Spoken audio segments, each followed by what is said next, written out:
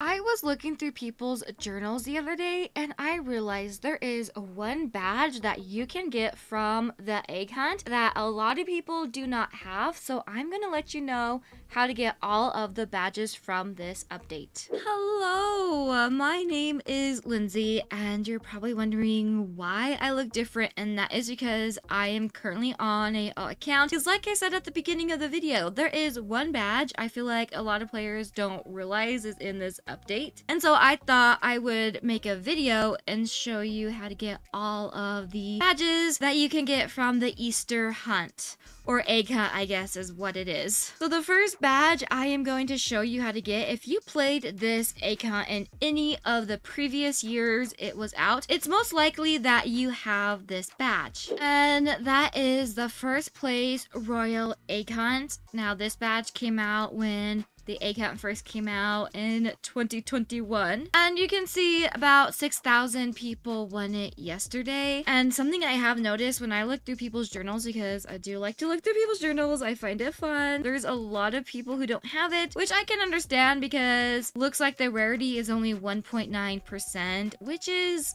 pretty low, especially when you compare it to another badge we have in the Easter hunt, which is at 19.7 percent win rate. So obviously in order to get the first place badge, you need to get first place in the hunt. So I am going to go play it. I will be playing it in a private server though because then it's guaranteed that I get first place because I will be the only one here and then I will get the badge. And I'm going to be honest, I kind of forgot you could get this badge in this update because like I said, this badge came out in 2021. So every year I forget it's still attainable through the egg hunt. I was looking through the badges yesterday to see if there was a new one added because we should be getting a new Halo soon. So I was just checking the badges and I saw people were winning that badge. Oh no, I hate when I start off frozen right away. That's like the worst luck luck you could have.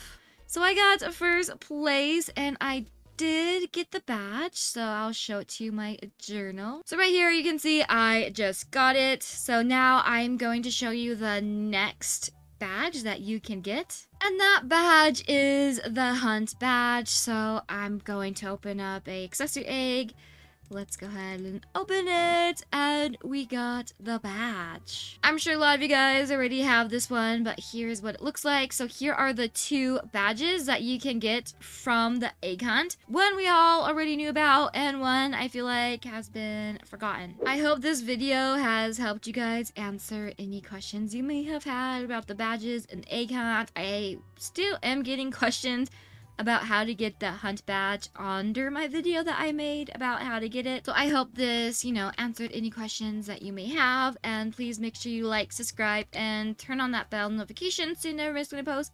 And I will see you in the next video. Bye!